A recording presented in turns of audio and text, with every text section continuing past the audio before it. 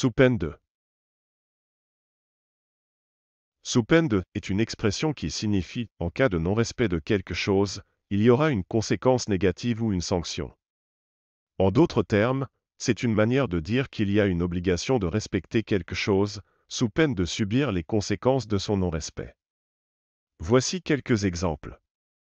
Il est interdit de fumer dans ce bâtiment, sous peine d'amende.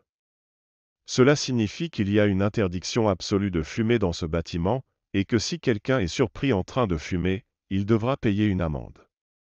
Toute personne qui ne respectera pas les consignes de sécurité sera immédiatement expulsée, sous peine de poursuite judiciaire. Ici, sous peine de poursuite judiciaire signifie que si quelqu'un ne respecte pas les consignes de sécurité, non seulement il sera expulsé, mais il risque également de faire l'objet de poursuites judiciaires. Vous devez remplir ces formulaires en ligne avant telle date, sous peine de retarder votre demande de visa. Dans ce cas, sous peine de retarder votre demande de visa signifie que si vous ne remplissez pas les formulaires requis avant la date limite, votre demande de visa risque d'être retardée. En résumé, sous peine de est une expression qui souligne les conséquences négatives ou les sanctions qui peuvent découler du non-respect d'une règle ou d'une obligation.